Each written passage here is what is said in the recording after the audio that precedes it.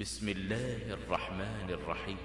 ادع إلى سبيل ربك بالحكمة والموعظة الحسنة وجادلهم بالتي هي أحسن.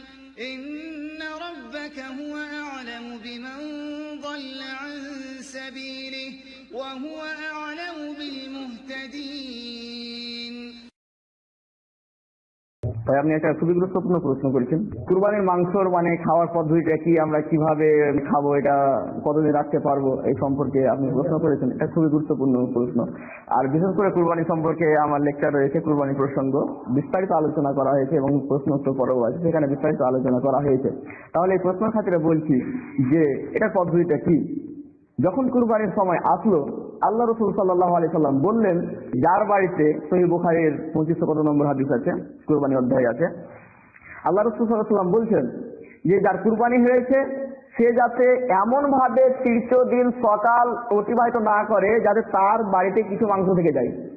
সেই একটা কুরবানির সময় চলে গেল। তার পরবর্তীতে যখন আবার কুরবানির সময় আসলো সাহাবাইকে আমরা জিজ্ঞাসা করছেন, ইয়া রসুল্লাহ আমরা কি কেমন করব যেমন গত বছর আপনি বলেছিলেন? তো রসুল্লাহ সাল্লামকে প্রশ্ন করছে যে, যেমন আপনি গত বছর বলেছেন, অর্থাৎ আমরা তিন দিনের বেশি কুরবানির মাংস খাব না, আমরা সবকে ভেটে দেবো, এটা কি করব?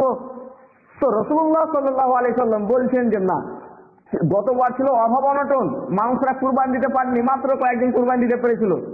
এই জন্য আমি চাইছিলাম যে, কুরবানির মাংসটা সবাই যাতে খেতে পাই সেই জন্য আমি এটা বলেছিলাম, কিন্তু এখন আর কোনো সমস্যা নেই। এখন তোমরা নিজে খাও, অন্যকে খাওয়া এবং জমা করে রাখো। তাহলে বর্তমান পরিস্থিতিতে আমরা সবাই কুরবানি করছি। বর্তমান পরিস্থিতিতে আমরা সবাই কুরবানি করছি, কারও বাড়ি বাদ নেই। তাহলে এই পরিস্থিতিতে আপনাকে তিন দিন খেতে হবে, এমনটি ব্যাপার না। আপনি যতদিন ইচ্ছা রেখে খেতে পারেন, কোনো সমস্যা নেই। হ্যাঁ কিন্তু ওই হাদিস রহিত নয়, এই হাদিস রহিত নয়, অনেকে হয়তো রহিত মনে করেন। যদি আমাদের পরিস্থিতি এইরকম হয়, যদি আমাদের এমন একটা পরিস্থিতি আসলো যে লোকেরা মানে অভাব, এত অভাব, যে অভাব অনটনের কারণে মানুষ আজ কুরবানি করতে পারছে না, তাহলে আবার কিছু মাত্র মাংস হয়তো কুরবানি করতে পারছে, তাহলে সেই লোকগুলো তিন দিনের বেশি মাংস খাবে না। সবকে দিয়ে দিয়ে মানে তিন দিনের বেশি যাতে মাংস তার বাড়িতে না থাকে। সুতরাং আমরা যে হাদিস সুস্পষ্ট ভাবে বলে দিয়েছেন, যখন এইরকম পরিস্থিতি থাকবে, যখন বর্তমান আমাদের পরিস্থিতি আছে, তাহলে আপনি ইচ্ছা মতো বছর রেখেও খেতে পারেন, কোনো সমস্যা নেই। কিন্তু যদি অভাব অনটন থাকে, আল্লাহ রসুলামের সেই যুগের মতো, তাহলে আপনি তিন দিনের বেশি কুরবানির মাংস খেতে পারবেন না। আশা করি বিষয়টি স্পষ্ট হয়েছে।